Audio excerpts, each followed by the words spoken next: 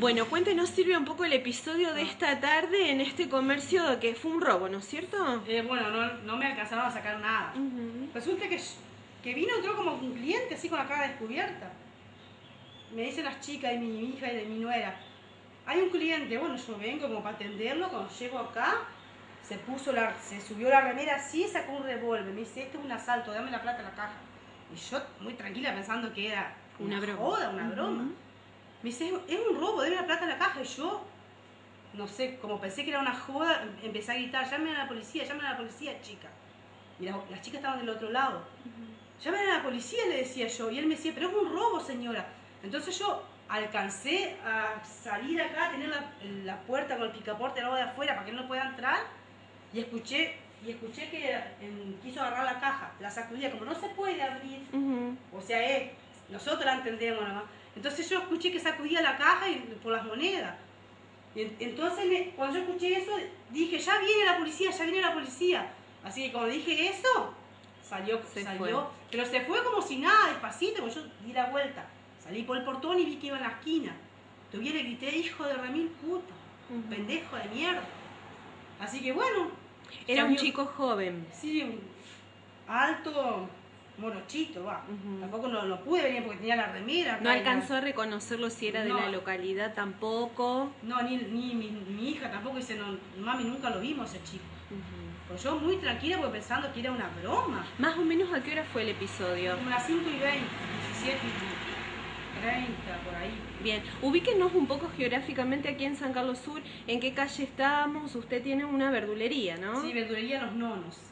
Eh, Beck Bernard 578. Bien, ¿y dio aviso a la policía enseguida? Sí, la, la, las chicas se iban a llamar a la policía cuando yo dije eso. Porque me decían, mami, ¿cómo vas a decir eso? Te podía haber pegado un tiro. ¿Cómo vas a llamar a la policía contando él apuntándote? Pero bueno, me salió, no sé. Te juro que no, no sé cómo, cómo dije eso, porque... Y, y porque le podía haber dado la plata. El, el momento. Tranquilamente. ¿La policía vino enseguida? Y a los 15 minutos por ahí vino la policía. Vino la del sur, después vino el comando también. Bien, ¿y no pudieron, digamos, rastrearlo, identificarlo? No. ¿Se fue caminando? Sí, dobló ahí, en la esquina esta. Pero de ahí no sé si alguien lo esperó qué. Bien. O sea, nuestro eh, miedo es que, que, vuelva porque como no pudo llevarse nada. Claro. ¿Es la primera vez que le sucede un episodio sí, de esta característica? Un, un, mes y medio que abrimos un, sucucho así que quiere que... Seguramente en ese momento le pasaron un montón de cosas por la cabeza, ¿no? Sí.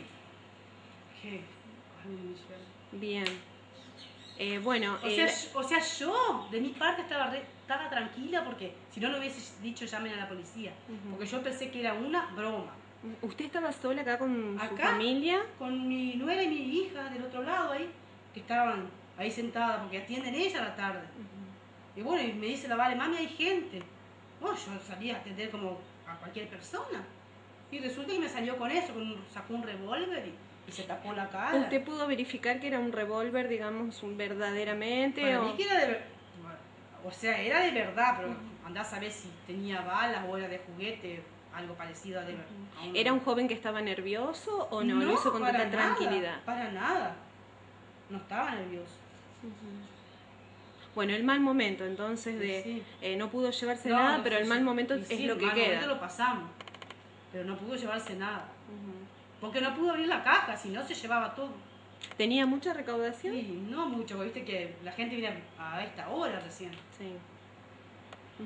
Bueno, muchas gracias. ¿eh? gracias a ustedes.